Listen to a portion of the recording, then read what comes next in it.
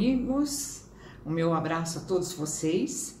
E nós vamos continuar conversando um pouquinho sobre a parte 3 do Livro dos Espíritos, no capítulo 5, que fala da lei de conservação.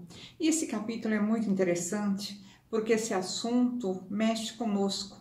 É uma época que nós estamos vivendo e que esse instinto de conservação está muito aflorado. Então, o instinto de conservação é uma lei da natureza, é uma lei divina. Percebam, por que, que nós sentimos medo?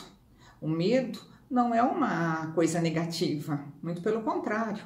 O medo faz com que a gente procure soluções, né? O medo ele só é negativo quando ele faz com que a gente paralise e não tome atitudes. Mas em situações drásticas, em situações mais conflitantes, esse medo nos instiga a procurar soluções e a nos preservarmos, não é? Então, o instinto de conservação ele é dado a todos os seres vivos, qualquer que seja o grau da sua inteligência. Em uns, ele é puramente maquinal, em outros, ele é raciocinado. Nós temos os dois. Às vezes nós nos aproximamos de um lugar que está muito quente, nós nem vemos, nem percebemos, mas automaticamente, sentindo aquele calor, nós pulamos, não é? Saímos imediatamente daquele lugar. Em outros, ele é raciocinado, nós pensamos, não é? Assim, a própria lei de atração, a própria lei da afinidade, é esse instinto agindo. Nós procuramos nos relacionar com aquelas pessoas que nós temos mais atração, com aquelas pessoas que nós temos mais afinidade. Por quê? É nosso instinto de preservação, nós nos sentimos bem, então aquilo nos faz bem, não é? Nos agrupamos então por proteção, sim. Observamos os animais. Eles sentem, eles percebem o que eles podem comer, eles percebem por onde andar e percebem tantas outras coisas que para nós passam distraídas. O instinto de conservação, ele move no mundo tudo, desde aquela menor formiguinha que é quase invisível no solo, até as aves no céu. É uma lei universal, a lei de conservação, e funciona desde lá o pulsar dos átomos aos níveis mais cósmicos. Nada se destrói, porque a lei de conservação, ela é eterna tudo se transforma para a maior grandeza da vida. É preciso então compreender que tudo é regido por leis divinas. Nós estamos falando da lei de conservação, mas nós temos outras leis divinas. A lei do progresso, a própria lei da destruição é uma lei da natureza, a lei do trabalho, a lei de justiça, amor e caridade, a lei de adoração, várias outras, né? Então é preciso compreender que tudo é regido pelas leis divinas. Mas muitas vezes o ser humano, nós, carentes ainda que somos, não alcançamos o entendimento dessa perfeição, dessa lei universal de conservação. Nós não entendemos esse amor de Deus para com todas as criaturas todas, indistintamente, né? Deus não privilegia ninguém, nenhuma de suas criaturas, nada na sua criação é deixado de lado, né? E essa lei, em uns, ela se expressa como instinto, em outros, essa lei de conservação, ela já se expressa como razão, já um pouco mais. E em outros ainda, essa lei de conservação se expressa como intuição. E nós temos essa graduação sempre. Nós às vezes agimos no impulso por instinto e nos livramos de uma situação que seria caótica, que nos causaria algum prejuízo, porque aquela lei de conservação instintiva. Senti o perigo, já me retirei, tive uma reação. Ela pode se manifestar como razão, pelo meu lado já racional, olha, essa situação vai é, progredir para isso, então vamos tomar um outro tipo de atitude, um outro tipo de comportamento. E em outros, como intuição, nossa, é melhor, eu percebo, eu sinto que é melhor, meu, me, a minha intuição me diz para eu agir dessa maneira, não é? E Deus deu a todos os seres vivos um instinto de conservação. Como eu falei, ele não privilegiou, nem, não privilegiou ninguém. Todos temos esse instinto de conservação. Por quê? Porque todos nós temos que concorrer com os desígnios da providência divina. Nós estamos aqui para ajudar essa manutenção da ordem, para concorrer com a harmonia divina, para concorrer com os desígnios da providência. Então Deus nos deu esse instinto de conservação. Nós precisamos sim estar aqui, não é? Isso porque a vida é necessária ao aperfeiçoamento dos seres, de todos nós. Nós só aprendemos vivendo, nós só aprendemos fazendo. Nós aprendemos muito de teoria, nós percebemos pelo nosso estudo acadêmico. Né? Nós temos matérias, aprendemos, passamos por provas, somos aprovados, achamos que sabemos, teoricamente nós sabemos tudo. Quando nós vamos colocar aqueles nossos conhecimentos na prática, a coisa muda um pouquinho de figura. Então, olha, a vida a gente sabe que é necessária ao aperfeiçoamento dos seres e nós não conseguimos fazer isso rapidamente. Nós temos que ter experiências em atrás de experiências para que a gente vai, vá solidificando todos esses conhecimentos, não é? Então, é, a vida é necessária ao aperfeiçoamento dos seres. Eles sentem instintivamente, sem que se apercebam disso. Nós temos isso já arraigado conosco. O que Deus faz, está tudo certo.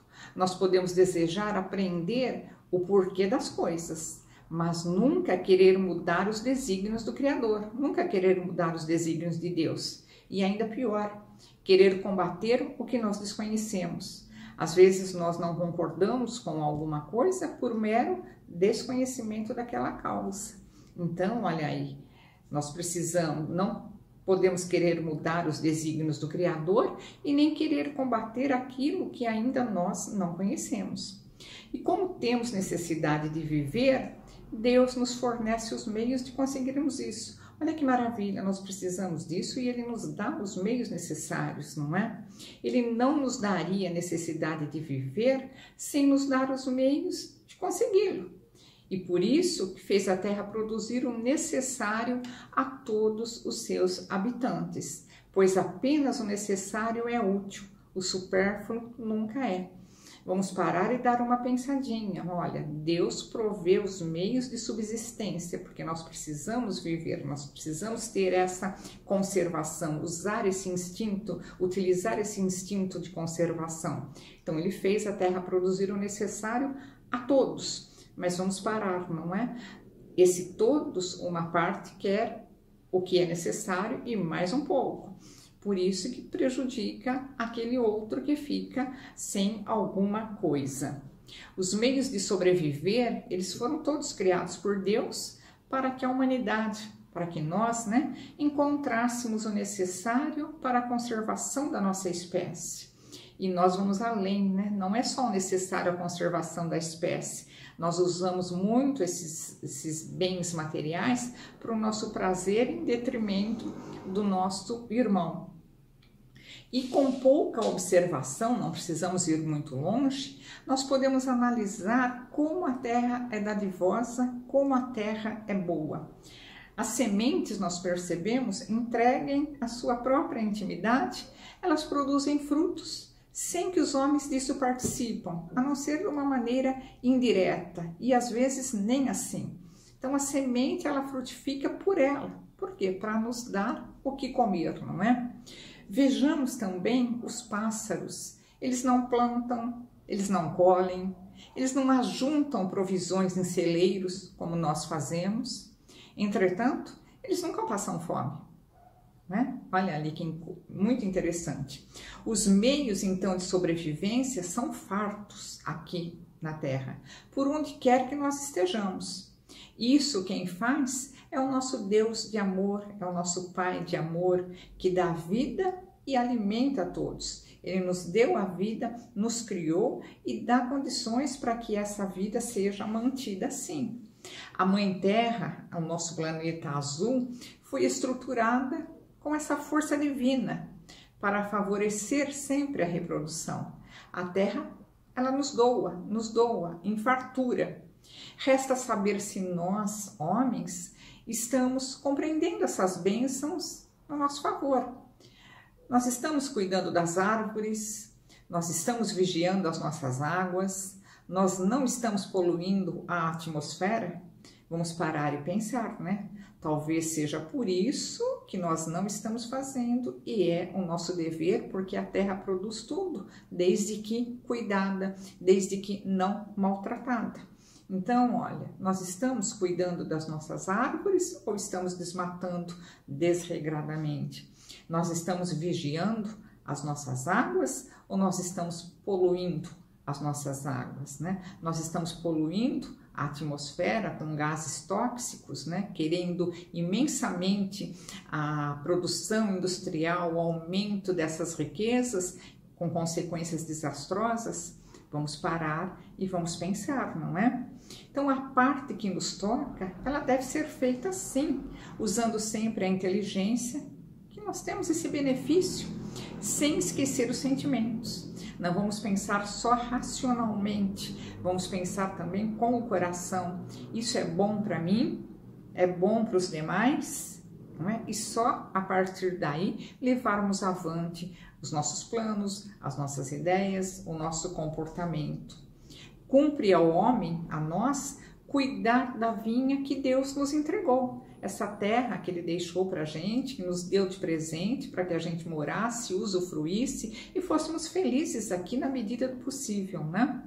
É necessário, então, combater a ignorância, amando não somente os semelhantes. Isso é uma obrigação, né? Se nós somos todos irmãos, irmãos, nós temos que nos amar como irmãos, respeitarmos como irmãos, mas também amar a Deus em tudo, como amamos a nós mesmos. E nós gostamos de nós mesmos, né? Nós sempre queremos o melhor para nós, nós sempre queremos estar em evidência, né? Então vamos amar a Deus, vamos amar aos outros como nós nos amamos que o resto vai chegar até nós por acréscimo de misericórdia divina. Fazendo o melhor, nós vamos atrair melhor. Imbuídos de boas ações, de boas propostas, nós vamos atrair também boas ideias e força para trabalhar, para colocar todas essas ideias em ação. E Deus, além de dar os meios de conservação, ele dotou o homem do instinto para essa conservação, a lei da conservação. Ele faz tudo, Deus faz tudo, nos entregando o menor trabalho que devemos fazer com alegria e com amor. Nós temos tudo pronto, é só nós usufruirmos e cuidarmos para que sempre haja suficiente para nós e para os outros. E se a Terra o nosso planeta nem sempre produz o bastante para fornecer o necessário ao homem, é que o homem é ingrato, é que o homem é negligente, não é? preguiçoso. Ela, a terra, é uma excelente mãe. E qual mãe não quer que seu filho tenha o melhor?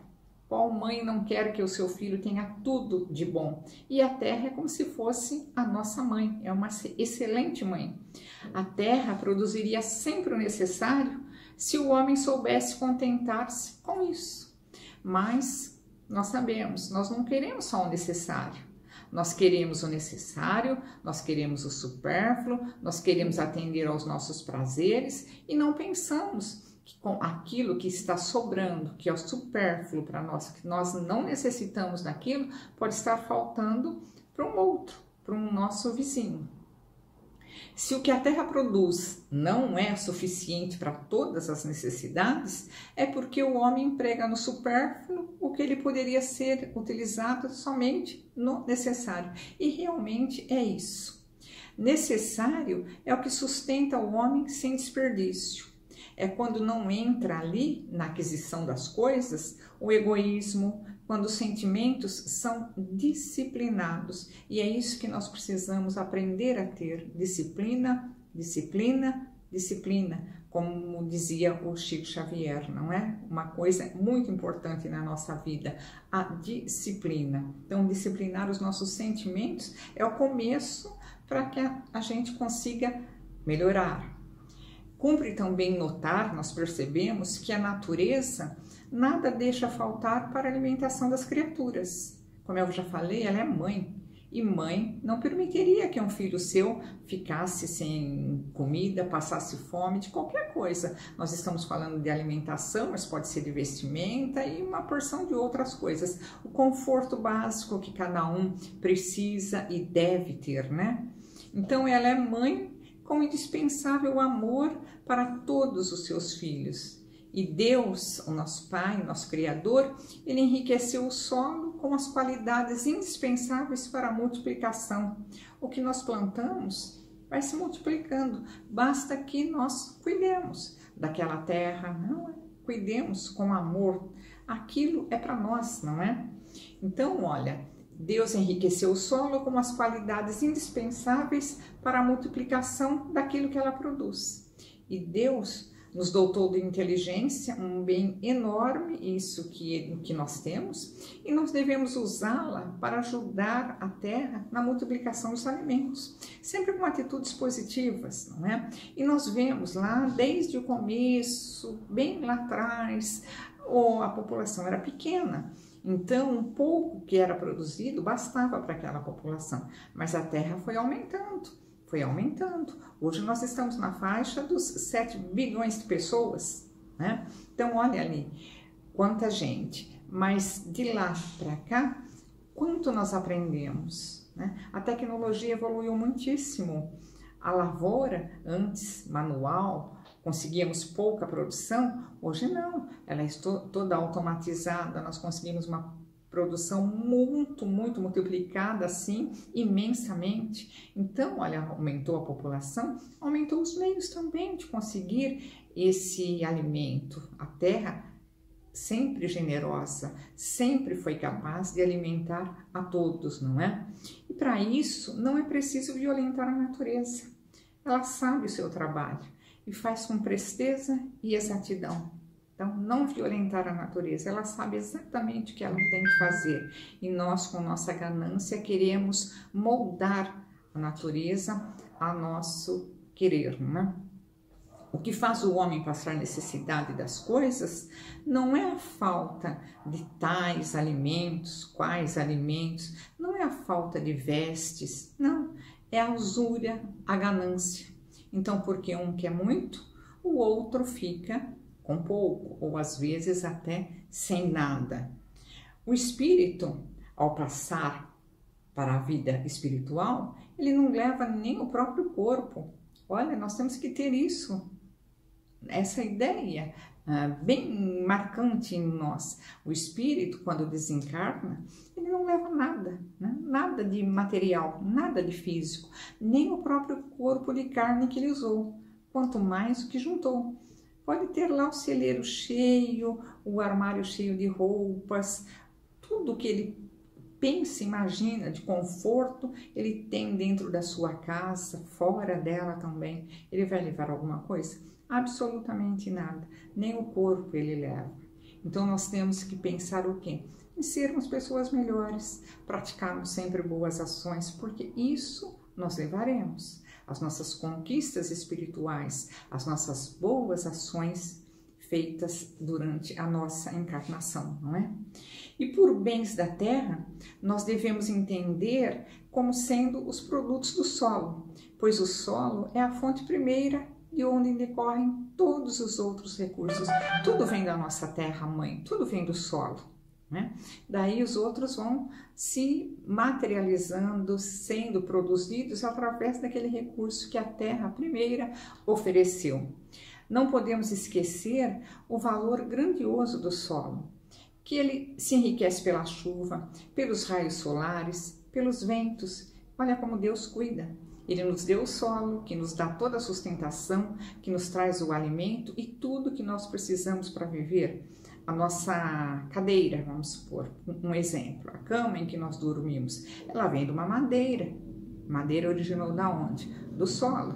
Então, ele é o princípio de tudo, não é? E nós não podemos violentar esse solo, não podemos violentar essa natureza, muito pelo contrário, tratá-lo muito bem, porque Deus faz a sua parte, olha.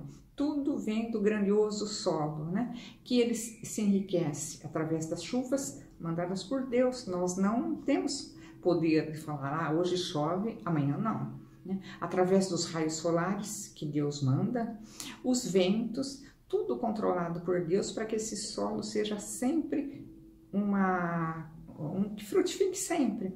E nós desenhamos, não cuidamos, né? Então, tudo isso enxerta a terra de bens imperecíveis. A chuva, os raios solares, os ventos, trazem ali na terra esses bens imperecíveis que vão originar coisas boas, alimentos para nós, né?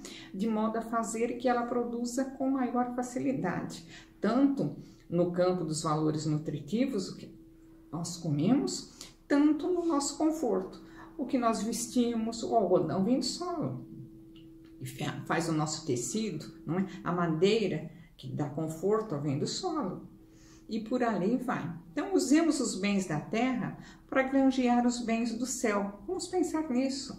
Nós temos que, que cuidar do quê? Do nosso espírito, nós vamos com ele para sempre. Lógico, nós vamos cuidar do nosso corpo, porque nós precisamos, é o elemento pelo qual o nosso espírito se manifesta, mas não tanta importância a ele, mas ao espírito. Tá? Então, usemos os bens da terra para granjear os bens do céu, que são eternos. O que nós conquistamos espiritualmente, nós vamos levar para toda a nossa trajetória, né? E esses bens do céu, o que, que eles são? São amor, a caridade, a paz de consciência, o perdão àqueles que nos ofendem e que nos caluniam.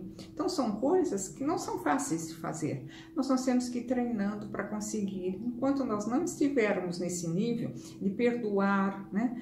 Nos, não nos ofendermos, ajudar com amor e caridade, sem nenhum tipo de interesse, sem querer nada de retorno, nós vamos, enquanto nós não atingirmos esse patamar, nós não vamos para mundos melhores. Vamos continuar sofrendo em provas e expiações. E frequentemente os meios eh, de, de subsistência né, faltam a certos indivíduos, mesmo quando a abundância o cerca. Posso estar vivendo numa cidade riquíssima, mas me faltar um monte de coisa. Então eu estou em meio à abundância, mas para mim falta muita coisa, não é? Isso é atribuído ao egoísmo dos homens que nem sempre fazem o que devem e também a si mesmos. Às vezes a pessoa está vivendo, poderia ter uma vida um pouco mais confortável, um pouco mais digna, mas ela também não quer dar aquele primeiro passo. Não vamos aqui julgar se ela tem ah, dificuldades, se ela é uma pessoa problemática, mas tudo depende de nós primeiro. Nós termos que dar o primeiro passo, pedirmos socorro, pedirmos uma mão para que nós melhoremos, né? Porque nós temos o que Jesus nos disse, nos disse no, na história do buscai e achareis. E essas palavras, elas não querem dizer que basta olhar para o chão para encontrar o que se deseja. Não, milagre não existe. Mas que é preciso procurar com ardor, com perseverança e não com indolência, e nem se deixar desencorajar pelos obstáculos que, com muita frequência, são aqueles meios de pôr a nossa coragem à prova, não é? Nosso comportamento à prova. Então, buscar e achareis, a terra nos dá tudo, nós, nós temos que fazer a nossa parte, nós temos que ir lá cuidar dela, nós temos que plantar, nós temos que colher, nós temos que zelar por ela, não é? Não é só pedir que as coisas caem, não. Se a civilização multiplica as necessidades, lógico, vão aumentando as pessoas, nós queremos mais confortos, aprendemos mais, então as nossas necessidades estão sendo multiplicadas, mas também as fontes de trabalho e os meios de viver, de atender essas necessidades, eles estão sendo multiplicados. Olha como as coisas mudam, tudo é uma dinâmica. Profissões que nós temos hoje que não existiam lá atrás e que facilitam a nossa vida. Daqui a um certo tempo, profissões que hoje existem não existirão mais, outras substituirão. Para quê? Para facilitar ainda mais a nossa vida. Porque é um lugar ao sol para todo mundo. A natureza não poderia ser responsável pelos vícios da organização social e nem pelas consequências da ambição de cada ser humano. Em graus diferentes, todos nós temos ambição, né? Entretanto, seria preciso ser cego para não reconhecer o progresso que a esse respeito já tem sido feito. se nós olharmos lá para trás, não vai muito longe, não conversarmos com os nossos pais, os nossos avós, quem os tem, que a vida era diferente. O progresso está se efetuando. Então, graças a esforços louváveis que a filantropia, a ciência reunidas não cessam de fazer, estão sempre estudando, né, para a melhoria da condição material dos homens, para nos dar uma vida melhor, um conforto melhor, né? E apesar do crescimento incessante das populações, estamos aumentando em número, mas também a tecnologia está ajudando, a ciência, a filantropia estão trazendo coisas novas para melhor, melhorar a nossa qualidade de vida, não é? Então vamos, uh, não vamos ser calamitosos, não, o mundo não está bom. Nós estamos passando por situação delicadíssima nesse momento. Né? Mas o nosso instinto de sobrevivência está aí aflorado. Nós estamos todos nos cuidando melhor, não é? E as coisas não acontecem por acaso.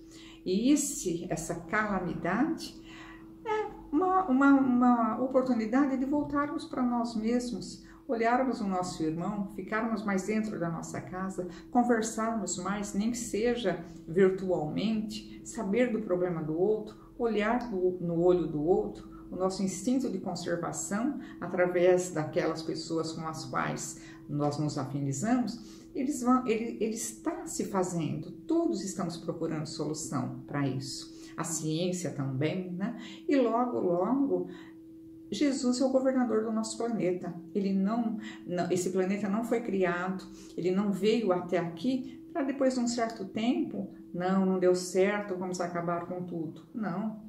Nós estamos sendo testados. Então, vamos ser corajosos, vamos fazer a nossa parte, vamos colaborar, que tudo vai se é, voltando ao normal.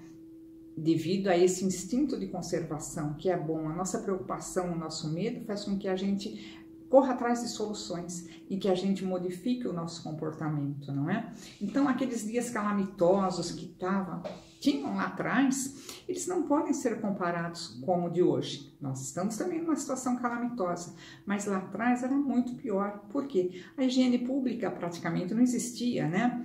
E esse elemento é tão essencial para a conservação da nossa saúde, e hoje nós aprendemos, né? Era desconhecido termos dos, uh, no tempo dos nossos pais, não é? E agora não, agora nós temos mais esclarecimento, nós sabemos mais, né? E a ciência está contribuindo muito para aumentar o nosso bem-estar. Então vamos orar para esses cientistas, para que eles consigam melhorar, ah, arrumar a cura, uma vacina, para minimizar o sofrimento. Então, quando há situações em que os meios de existência independem da vontade do homem e que a privação do estritamente necessário é uma consequência da força das coisas, isso é uma prova que ele deve experimentar. Nós estamos sendo provados. Nossa, eu sou paciente ficando na minha casa, eu sou paciente me contentando com o que eu tenho lá dentro. Né? Nós estamos sendo testados, sim, e vamos sair dessa vitoriosos, né? com honra. Basta que nós façamos a nossa parte. Naqueles mundos em que a organização é mais apurada, né? os mundos, os seres vivos têm necessidade de alimentar, então um mundo melhor, não é? os seres vivos têm necessidade de alimentação, eles têm sim necessidade de se alimentar, mas os alimentos correspondem à sua natureza, são diferentes dos nossos. Esses alimentos em mundos mais depurados, eles não seriam substanciosos para os nossos estômagos grosseiros. Nós precisamos de coisas mais grosseiras, não é? E assim como eles, não poderiam digerir os nossos alimentos. Então, à medida que nós vamos evoluindo, vamos conquistando patamares melhores, a nossa alimentação também vai se tornando mais leve, menor, menos né, quantidade. A necessidade de alimentar-se existe em todos os mundos. No, no entanto, cada mundo habitado tem a sua própria alimentação específica. Tudo é de acordo com a evolução já alcançada. A Terra que é um mundo de provas e expiações, onde ainda se misturam espíritos encarnados de várias classes, né? E a alimentação desses espíritos ainda é grosseira. Mas depois da seleção que há de vir pela força do progresso, o planeta passará a ser um mundo melhor, um planeta de regeneração. melhorando, tudo muda. E necessariamente a alimentação vai ser mais leve, sim, visto que o nosso organismo será modificado. O sistema de assimilação de alimentos será modificado. Nós não vamos precisar de coisas muito grosseiras, né? Em mundos superiores, esse organismo já obedece esse sistema de assimilação mais espiritualizada, de modo que o corpo ele ingere uma comida mais fluídica. E aqui não, a nossa alimentação é bem mais pesada, né? A alimentação aqui na Terra, ela perdeu a sua naturalidade. A lei foi violada e as consequências expressas em duros sofrimentos. Nós não nos alimentamos somente para viver, né? nós queremos sempre mais, nós queremos combinar alimentos, nós queremos ter aquele prazer, aquela satisfação na degustação e nós não precisamos de tudo isso, né?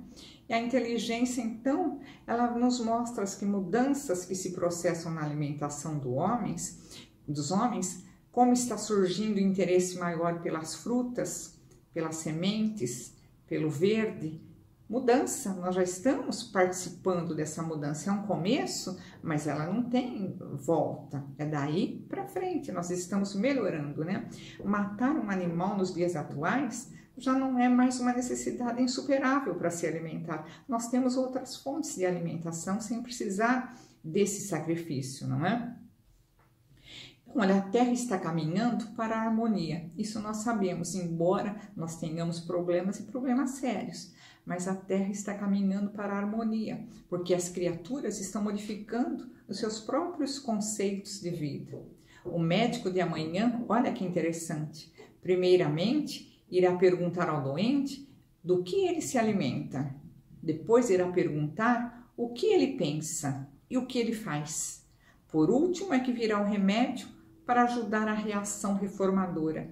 E a doutrina espírita foi uma bênção de Deus para ensinar as pessoas a conhecerem a si mesmos, pararem e refletir, vencerem suas próprias deficiências.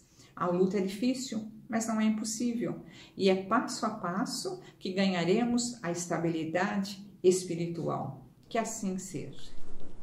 Alô, amigos.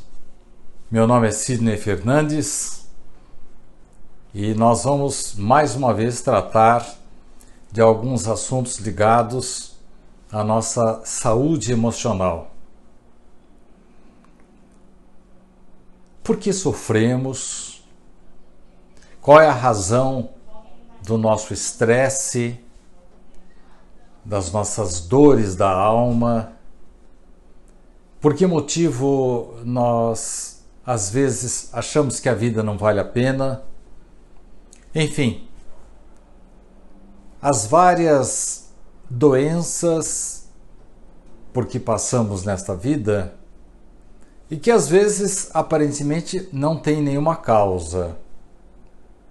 Felizmente, a doutrina espírita nos traz a explicação para todos os assuntos, todas as dúvidas, as dúvidas filosóficas que venhamos a ter. Uma das perguntas que as pessoas costumam me fazer, e eu tentei respondê-las no meu livro A Felicidade Tem Pressa, é relacionada com o sofrimento. Por que sofremos? O sofrimento incomoda, nos tira a concentração, até para tentarmos cumprir as ideias relacionadas com a justiça divina. Mas, certa ocasião, os discípulos, segundo Humberto de Campos, teriam indagado a Jesus por que não suprimir a dor, o sofrimento. E então, numa certa ocasião, numa narrativa que ele nos traz, os discípulos teriam dito assim para Jesus: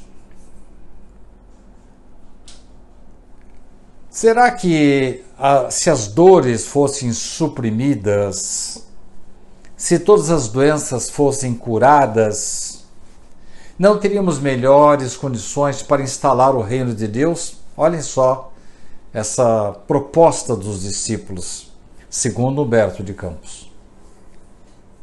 Isto é, eliminar da nossa vida a dor, o sofrimento, a carência, a deficiência. Então, Jesus concordou de fazer uma experiência. A partir daí, ele primeiro libertaria os vários enfermos antes das suas pregações. Então, na primeira vez que ele fez essa experiência, quando ele terminou, não havia mais ninguém para ouvir o seu sermão.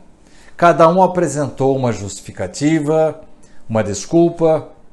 Assim que se viu livre da doença, eh, alegou que tinha alguns afazeres, eh, alegou que precisaria mostrar para os seus parentes, seus amigos, que ele estava são. Enfim, várias desculpas. E Jesus ficou apenas ele e os discípulos. Decepcionados, os discípulos concluíram que, infelizmente, ainda era necessária a dor, ainda era preciso o sofrimento para que as pessoas se interessassem em se melhorar, em mudar o seu interior, para depois então receberem a cura vinda de Jesus. Diga-se de passagem, antes de eu concluir, mostrar a conclusão de Humberto de Campos com relação a essa proposta, que Jesus costumava despedir-se dos enfermos que eram curados por ele com essa frase famosa, né? Vai tu e não peques mais, para que não te ocorra coisa pior. Bem, está implícito aí, quando Jesus fala dessa forma, que a dor, o sofrimento, a carência, é, a deficiência que ele havia acabado de curar, havia tido uma causa anterior. Vai tu e não peques mais. Isto é, você estava com esse problema que eu acabei de curar, com essa doença, porque você pecou, porque você errou no passado. Esta sua dor era simplesmente uma consequência do que você fez de errado. Então, olha, toma juízo. E a partir de agora, não erre mais, porque senão a doença vai voltar. E quantos casos nós vemos na Bíblia de criaturas que se curaram, mas não deram qualquer atenção à palavra, ao verbo, ao convite de Jesus à renovação e a doença voltou. Jesus curou, eles acharam que estava tudo bem por aí mesmo e continuaram errando como erraram antes e a doença retornou. Voltemos agora a essa, essa proposta é, anotada, registrada por Humberto de Campos. Os discípulos sugeriram e ele inverteu, né? Geralmente ele fazia primeiro o seu sermão, depois ele curava os doentes. A pedido dos discípulos, ele inverteu. Ele primeiro curou e depois foi fazer o sermão. Ele percebeu que não havia ninguém para ouvi-lo. E Jesus então explicou aos discípulos: aliviemos a dor, mas não nos esqueçamos de que o sofrimento ajuda o homem a esclarecer-se, ajuda o homem a esclarecer-se para a vida mais alta. Sem o bendito aguilhão da enfermidade corporal, é quase impossível conduzir o rebanho humano para as culminâncias do paraíso. Perceberam, caros irmãos? Os espíritos superiores, eles não se comprazem com as nossas dores. Eles não se, sentem bem com as nossas dores. Mas chegam à conclusão de que é um mal necessário. É a única maneira de fazer com que a gente reflita Faça o melhor a partir daí. E como nós somos assim muito pragmáticos, né? É, nós aceitamos a proposta de Jesus. Bom, então eu vou dar uma melhorada na minha vida para que as condições da minha vida sejam melhores. Daí então, irmãos, mesmo com o sofrimento incomodando, tirando a nossa concentração, é bem provável que nós não estejamos ainda é, preparados para suprimir, para que sejam suprimidas as dores das nossas vidas. Mas isso acontece em todos os planetas em que nós vamos viver? Claro que não. É que aqui na Terra ainda predomina ainda o mal terrível, o egoísmo, a vaidade, o orgulho.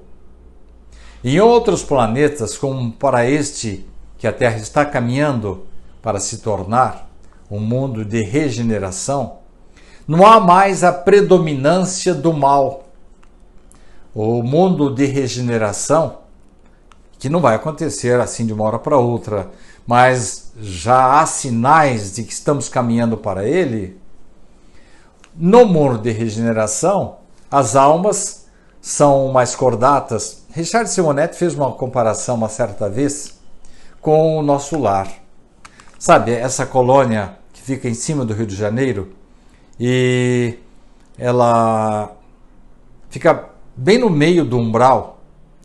Por que, que a situação lá é agradável, o céu é azul, as pessoas se dão muito bem, o ambiente é muito gostoso lá?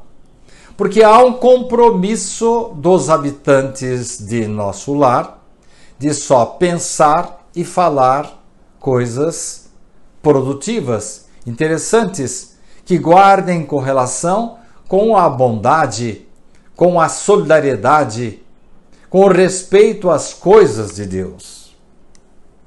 No mundo de regeneração, é isso que vai acontecer. E mais, Richard Simonetti diz que nós já temos aqui na Terra algumas pessoas que já denotam esse comportamento maravilhoso que um dia vai predominar na Terra. São pessoas dedicadas. Richard viajava muito, ele ia em muitas instituições e encontrava sempre pessoas dedicadas, pessoas que deram a vida em favor do próximo, do semelhante, abriram mão de sua vida. Eu mesmo passei recentemente por uma instituição de Votuporanga e lá encontrei três pessoas totalmente dedicadas ao bem. Pessoas que abriram mão das suas vidas em favor do semelhante, em favor da ajuda, em favor do progresso de um sem número de pessoas. Este é o começo do mundo de regeneração, onde não há mais dor, não há mais sofrimento. E nos mundos superiores, o nosso corpo vai melhorando também, não é tão grosseiro como é aqui na Terra. Enfim, caros irmãos, Daí nós chegarmos à conclusão de que, por enquanto, na Terra ainda há necessidade da dor, do sofrimento, da carência, da pessoa que ainda passa pela deficiência física, as doenças kármicas, e infelizmente ainda são coisas necessárias para nos impulsionar para o progresso. E diante do sofrimento, quais as atitudes que nós deveremos assumir? Então, vamos supor que eh, o nosso comportamento ainda exija dor, sofrimento. Que, qual vai ser a posição que vamos assumir? De rebeldia, revolta, desespero ou até de perplexidade, de surpresa? Ou será que nós deveríamos assumir uma atitude de reflexão, serenidade, compreensão e resignação diante daquilo que não é agradável, mas por enquanto é necessário?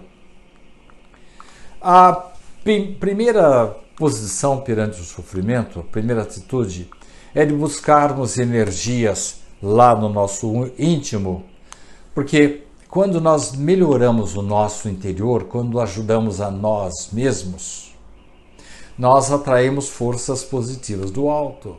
Já falamos várias vezes que todos nós temos dentro de nós, ainda que sejamos completamente ainda obscuros, uma chama divina dentro de nós que precisa ser alimentada. É o nosso lado bom que às vezes está ainda uma chama bruxuleante, ainda fraca, que precisa ser adubada, precisa ser receber o combustível da nossa atenção. Temos que desenvolver esta chama boa, a parte boa do nosso organismo.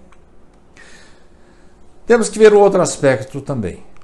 Aquilo que aparentemente nos parece uma desgraça, quando estamos na espiritualidade, é, representa uma retificação. Eu lembro de uma situação descrita por André Luiz no livro Entre a Terra e o Céu, em que por várias encarnações, Júlio precisava daquilo que André Luiz chamou nesse livro de carvão milagroso. O que, que é isso?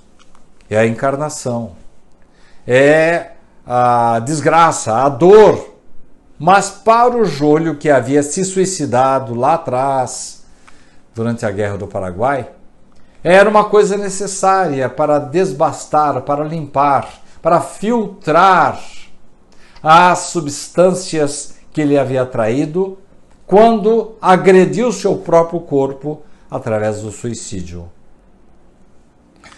Aquilo que geralmente debitamos para Deus, nossa, Deus não me ajuda, a minha vida é uma desgraça. Deus não premia nem pune. Nós simplesmente colhemos aquilo que nós semeamos. Ah, mas eu não fiz nada nesta vida que justifique a dor, o sofrimento porque estou passando. Aí a doutrina espírita vem e nos alerta. Quando nós não encontramos na vida atual a causa para os nossos sofrimentos, temos que buscar numa vida anterior. Agora, o espírita tem também a mania de dizer que tudo é oriundo lá do passado. Tudo se deve à encarnação anterior ou encarnações anteriores. E é normal isso, porque se a gente procura a causa nesta vida não encontra, tem que procurar no passado. Mas às vezes, caros irmãos, o plantio negativo que fizemos e que agora colhemos, não aconteceu 400, 300, 200 anos atrás. Às vezes aconteceu na nossa infância, na nossa juventude. Quantas criaturas cometem barbaridades na adolescência? e ainda na mesma vida colhem o fruto das suas más semeaduras. Nós, aquilo que às vezes achamos que é azar, que é castigo de Deus, nada mais é do que a colheita daquilo que semeamos, em vidas anteriores ou às vezes nesta vida mesmo. A verdade é que muitas vezes, ou no mais das vezes, nós somos imprevidentes. Não cuidamos bem do organismo. Então, ingerimos coisas em excesso, coisas negativas, vícios, adotamos certas substâncias químicas que traz uma felicidade momentânea com o tempo certo para acabar, mas com consequências desagradáveis para o nosso organismo. São as coisas que vêm de fora para dentro.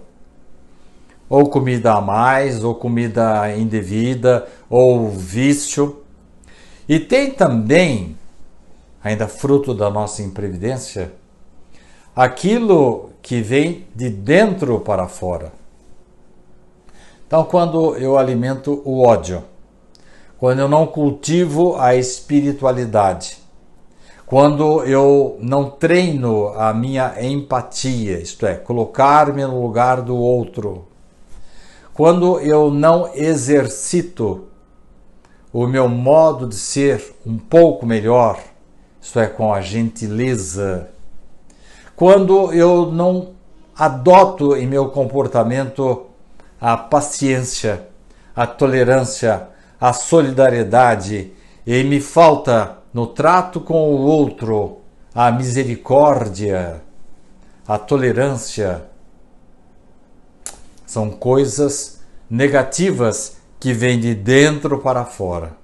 Eu me lembro de um caso em que, na época de Allan Kardec, ele foi chamado por duas irmãs, duas senhoras, que estavam se queixando de que os espíritos não davam sossego para ela, para elas. Então ele fazia uma bagunça tremenda. Elas guardavam roupas dentro de um armário e, e no dia seguinte elas apareciam cortadas, queimadas. Elas é, encontravam a casa às vezes completamente suja, barulhos. E Kardec foi lá. Perguntou ao mentor espiritual: o fenômeno é autêntico ou tem alguma, alguma burla? Não, não, o fenômeno é autêntico. É um espírito que as está atormentando. E eu teria permissão de saber que espírito que é? Ah, sim. Foi um servo delas que já morreu, mas fizeram dele o que melhor lhes aprouveram. Em outras palavras, como diríamos os antigos, de gato e sapato. E agora ele voltou para se vingar, porque elas maltrataram-no muito. Depois da morte ele voltou, por isso ele está atormentando a vida delas. E aí Kardec pergunta ao mentor: é, há alguma maneira de a gente resolver esse assunto? Olha, podemos evocar o espírito e você conversa com ele. E Kardec conversou com o espírito. E tudo isso que eu falei para vocês, Kardec descreve depois de conversar com o espírito. Ele havia sido é, um servo dessas, dessas senhoras e ele até usa um termo que eu não me lembro agora, mas é mais ou menos assim, de que é, usavam-no como se fosse uma mula um, um animal. E essas senhoras fizeram o que bem entenderam dele. Depois da morte, ele estava ali para se vingar. E aí Kardec conversou bastante com ele e tentou convencê-lo a lhes dar um pouco de sossego. E olha, até que ele concordou. E os fenômenos pararam por alguns tempos. Aqueles barulhos, as roupas que eram rasgadas, queimadas, enfim, aquele tormento da vida das duas senhoras. Para dali uns tempos voltar com toda a força, toda a energia. E aí Kardec ficou assim, é, surpreso. Afinal de contas, por que, que ele parou uns tempos e depois voltou? Converse com ele. E perguntou para o espírito: Ué, mas você não havia se convencido? É, realmente, eu havia concordado com vocês de dar-lhes um pouco de sossego. Mas elas me chamaram de volta. Como assim? Elas, as atormentadas, chamaram-no de volta? Sabe o que é? Elas precisam fazer a caridade. Precisam é, mudar de postura na vida. Mas disse o Espírito. Não estou falando aqui da caridade eh, do bem material, da caridade do dinheiro, do alimento, não, não, não, não. Eu estou falando da caridade da língua. Essas duas senhoras, elas não poupam a vida alheia.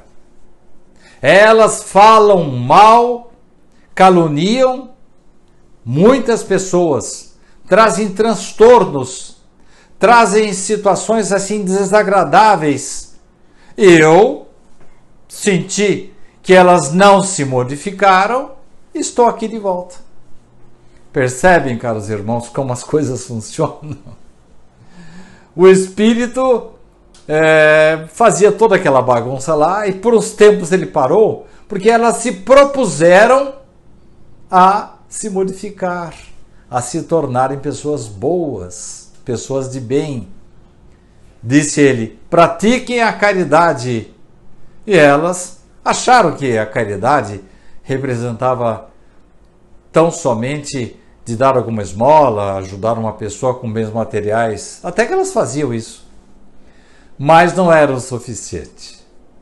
Elas precisariam mudar uma outra coisa que vinha de dentro delas a maledicência. Daí o Espírito dizer: enquanto elas não se modificarem, nós vamos ficar por aqui mesmo. O caro amigo que está nos acompanhando, está nos ouvindo, o caro espectador, pode às vezes falar assim: meu Deus, afinal de contas, até quando vai essa dor? Quando é que o bem vai se implantar aqui na Terra, afinal? Kardec fez essa pergunta para os espíritos. E eles responderam mais ou menos assim: quando os bons predominarem. À medida em que a terra for vencendo o egoísmo, o orgulho, gradativamente, aqueles que atualmente são recalcitrantes no mal, eles não terão mais espaço aqui. Hoje, eles são a maioria. Mas a partir do momento em que ocorra essa substituição de espíritos, vindo para cá aqueles que alguns já estão por aqui. Richard Simonetti, na sua colocação, ele os identificou.